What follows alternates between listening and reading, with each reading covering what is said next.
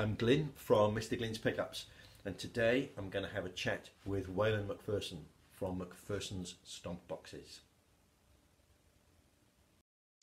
Hi, Waylon. How, how, how are you doing? Yeah, good. How are you going?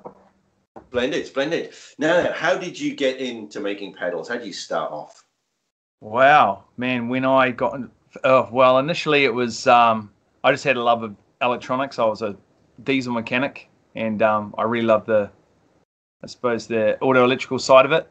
And so um, once I left that and got into the music shop and around all the things that I loved, it sort of became, uh, yeah, I suppose it was a, a fairly organic uh, job to get into.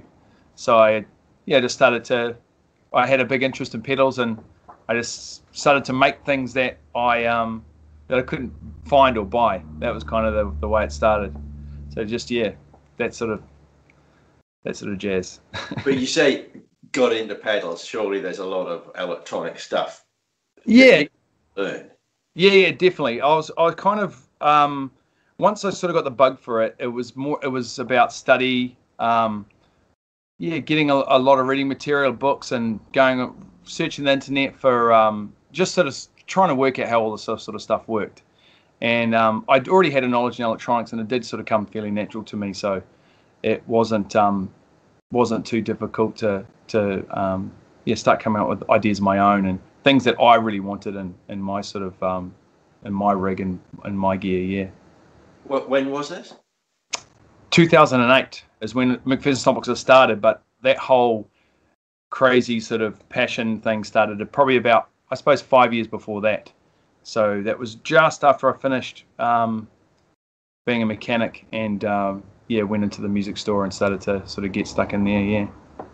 So, so was there much information on the internet then? Because I know there's circuit diagrams for everything now. Yeah, yeah. Um, there was a bit. Yeah, there was a couple of good um, sort of DIY websites, and um, there was yeah, there was a, a, bit of help around. I mean, it's it's so much easier now. You can just find whatever you want. And but I suppose the thing with when I started doing it then is that you just weren't given a lot of you know given everything. You could just you had to really work out how things really worked. You couldn't just sort of go, oh, I'll just use this and copy this piece here, and uh, you had to know uh, how this what the circuit was doing to augment the the sound to to get what you wanted. So it was definitely a, a little bit of a yeah, a little bit trickier, I suppose. Then now, if you want to build a clone, you can just go online and just build a clone. Um, yeah. So how? I mean, how much of it would be is experience, intuition, or is there a calculation? Um, it's I suppose. Yeah, I suppose most of it is is a very practical based approach from me. I mean, I did. I was a bit of a bookworm sort of guy, so when I really got into it, I was I read a lot um, just specifically audio. So what did you start off with?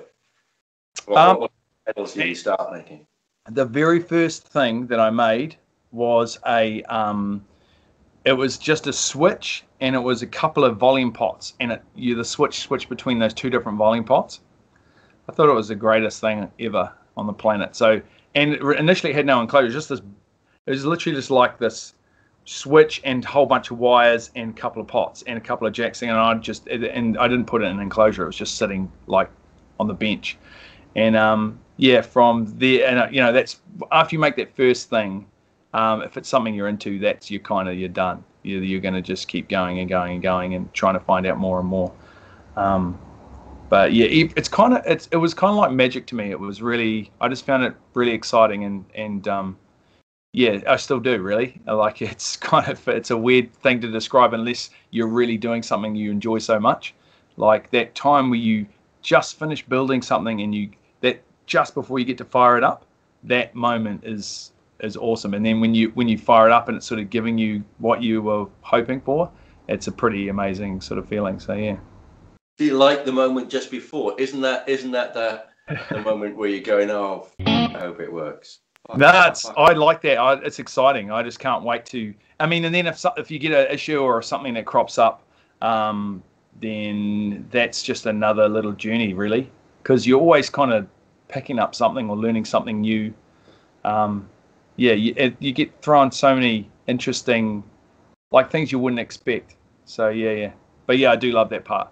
That's the best. Right. But when it works perfectly, it's obviously better than if you have to track down some random fault. But yeah, especially the handmade nature of how I build things. There's um, in the build process, you uh, there's a lot of room there for if you're not really on on task while you're building, you can uh, there's human error because everything's there's so much human involvement and so little like uh, computerized PCB um, manufacture. It's um, yeah, I've, I've seen inside your pedals. yeah, I've, yeah, the, the first thing I do, uh, in fact, probably now because yours are so impressive on the inside, that whenever I see any pedals, I just have this desire to take the back off them.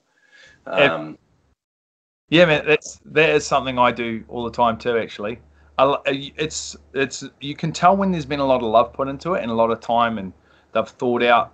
It's not just a whole bunch of components chucked on a board in the right order. So um, and it does it does really make a difference. Like lead dress and um, where your components are laid out, all those sort of things do make a difference to how it sounds, and um, if you want to get the best out of it, um, for sure. Really, how, how they're laid out makes a difference. Yeah, and the lead dress where your wires are going. So if your wire, there's certain wires if they're too close to certain um, other wires or certain components or certain spots on the board, you can get like oscillations and noises, hums and buzzes and problems like that. Um, depending on the pedal, obviously, if it's a fairly clean sort of thing, it probably won't matter too much. But if you're if you're talking sort of a bit more grind and a bit more dirty sort of um, tones, then yeah, you, you can run into some problems for sure. Okay. Mm. I, no, I didn't. I didn't. I didn't realise that because you're dealing with such a small amount of of current, though, aren't you? Yeah. Yeah, it's tiny. The, the thing that taught me that the most was when I built, because I built quite a few amps. And my first amp was like a, um, I li- it literally was a piece of wood with some copper nails smashed into it. That was the circuit board. And then I just twisted all the wires around those nails and soldered everything together. And I had so many problems with that amp, like squealing and um, going nuts all the time. And it was it was literally just how I'd done my lead dress. It was the the wires weren't, you know, there's certain wires too close to wires that were um, that they shouldn't have been. So yeah, so then you do get the same in pedals for sure. Yeah. Okay. Now, another thing that I know we've talked about before is is is the tolerance of, of components. Yeah. Because, I, because there, there's a there's a there's a plus or minus aspect, and when I mean how, I don't know how many components would be in the average pedal.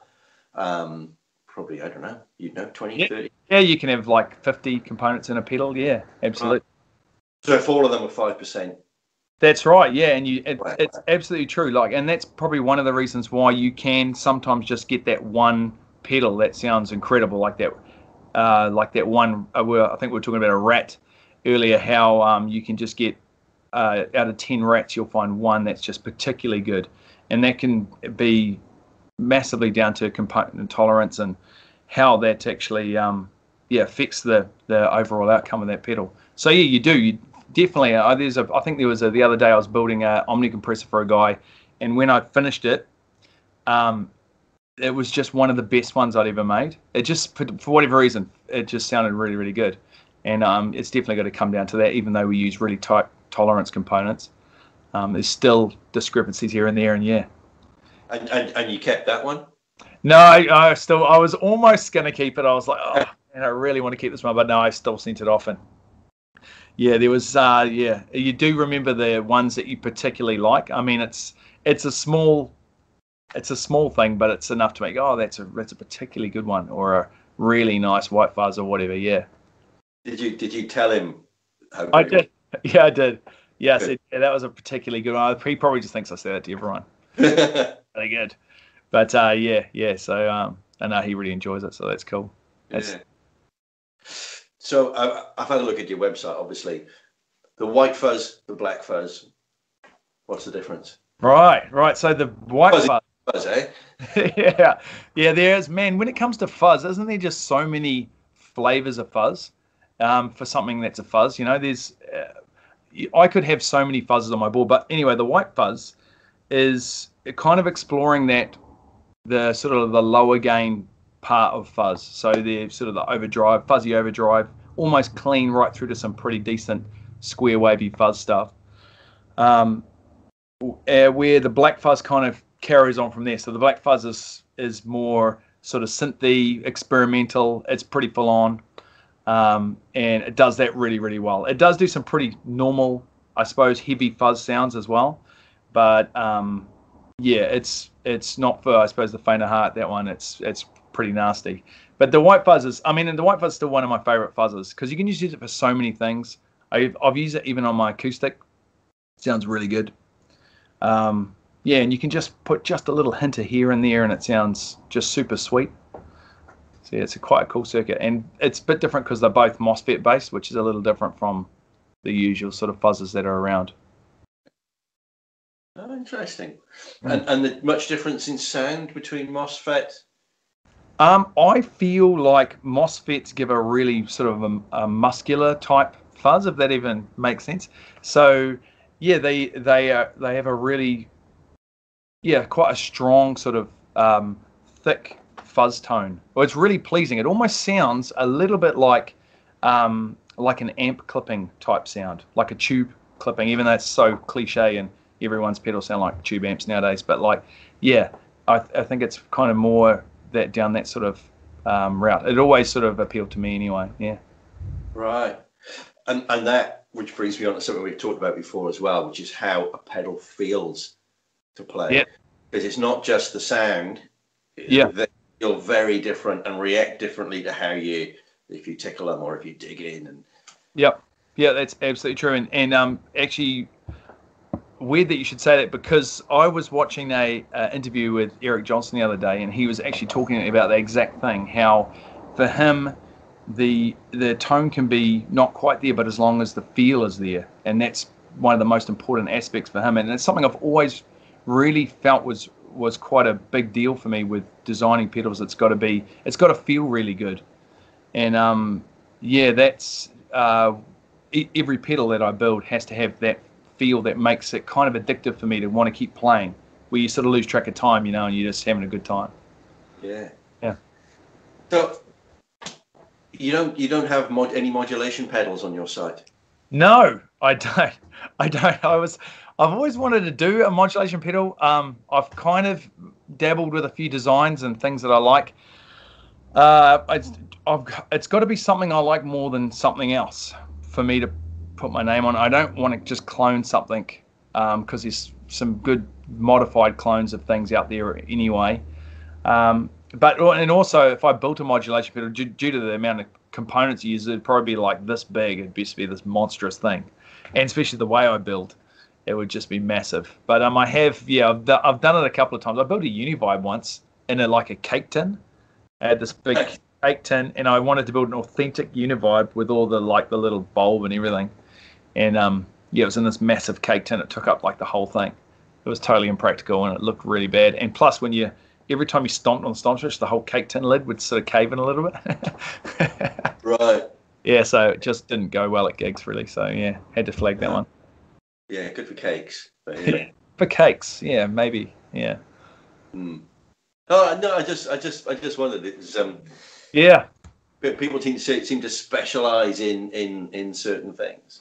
Yeah, yeah, and I've always gravitated towards um, what I need for myself. So it's always been down really more what I, I really want or what I want to hear. Um, I've tried to I've built a couple of delays just for myself, but nothing that I'd consider putting my like our brand on and, and selling just because it was it was a good delay. But it, there's probably other ones out there that, that are better or I like more. I actually I tend to like digital delays anyway, and I don't do anything digital at all. Um, yeah, so Ah, cool. So, um, the the hype about the Klon. The Klon hype, yeah. I mean, the Klon is. I mean, I love clones. I think I've, I think I've got one on Trade Me at the moment that I built. I built, but um, but yeah, the Klon is a beautiful sounding overdrive. I mean, I use. I don't really use it as that. I don't use the overdrive part almost at all when I use one. I almost have the drive on nothing, and just use it purely to boost, like a slightly dirty boost. But um, yeah, I mean it's it's a great pedal. I think the, the all the hype was, you know, like you said, it's probably not his fault. I think it was just how they go. Yeah, yeah, absolutely. Yeah, they are. I mean, yeah, yeah, you're right. They're good. They they they're such a sort of overdrive that really suits me. I think, or the yeah. sort of I really like. Yeah. yeah. Yeah, it's good. So the, so the the look of your pedals, you have the wood on the top of them, and I've seen you got wood on the circuit board. Yeah, yeah. Such a different look. When where, where most well, a lot of pedals these days look like the cover of a Marvel comic or something. Yeah, yeah, absolutely.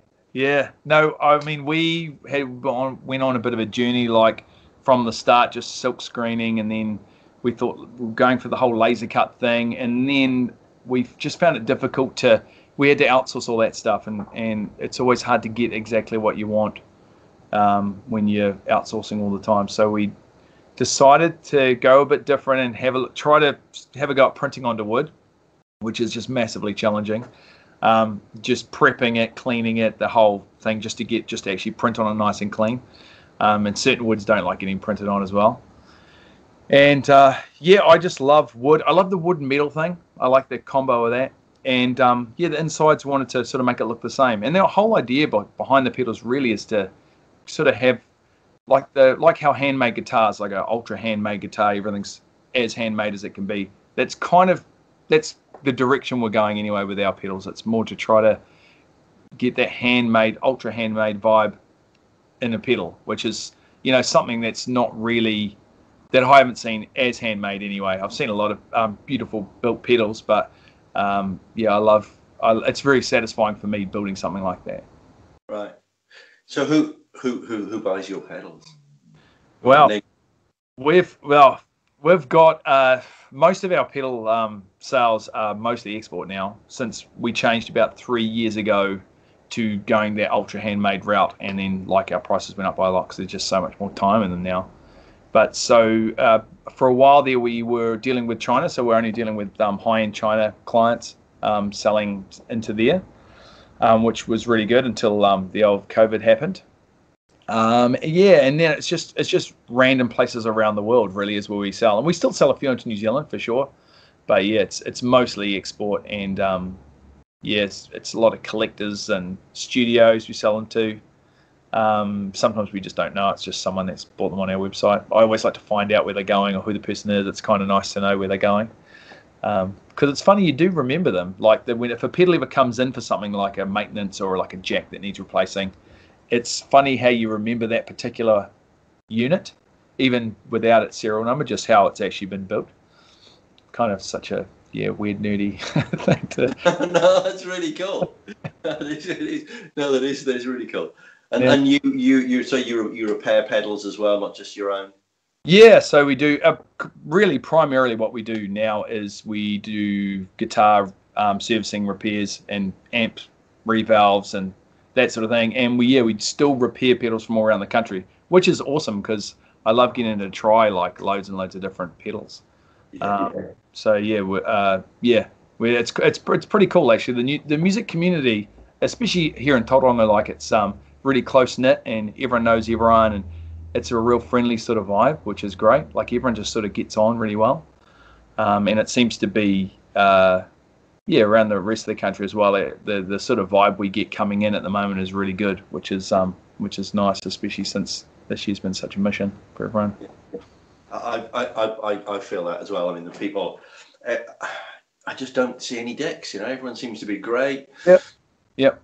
Yeah, it's it's it's it feels really nice. It does really feel like a community. I, have I've, I've sold quite a few pickups of people in Christchurch. It seems to be Christchurch's where yeah. I go and yeah. great. It's really nice, you know. Yeah. People don't know me, and but yeah, yeah I'm making a few friends down there, which is really cool. It's isn't Christchurch has seen like we get loads of pedals from Christchurch, broken pedals, obviously. From and um, man, it's amazing. The scene, the scene there must be really good. I've never actually asked anyone what it's like, but they must have must have a lot of musicians um, in Christchurch because they break a lot of stuff. Maybe they're just really clumsy. Yeah, they're just really like hard. they play hard yeah, yeah.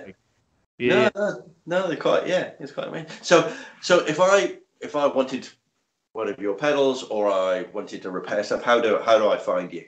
Ah, just go to you can go onto our Facebook page, which is um, McPherson Stomp Boxes or McPherson Artists and Effects and Pedal Repairs or something kind of snazzy like that, or um, our website, which is uh, McPhersonMusic.nz and you and you can just there's a little form you can fill out there if you've got a repair or even just a weird idea, like a weird mod idea. I love all those. So um, yeah, people sometimes people will hold back and they don't want to um, don't want to sort of get in touch. They might think it'd be a too weird or a weird zany idea they've got. But um, yeah, it's great to even just let me know. Even if we can't do it, it's just good to find out. You know. Yeah. Right. Right. Cool. Well, I think I think we'll wrap it up there. So, Yeah. Thank you, thank you very much, Waylon. That's been it's been really informative. No worries, man. Pleasure. No, it's good. It's always good to catch up, eh? So nuts. That was really cool.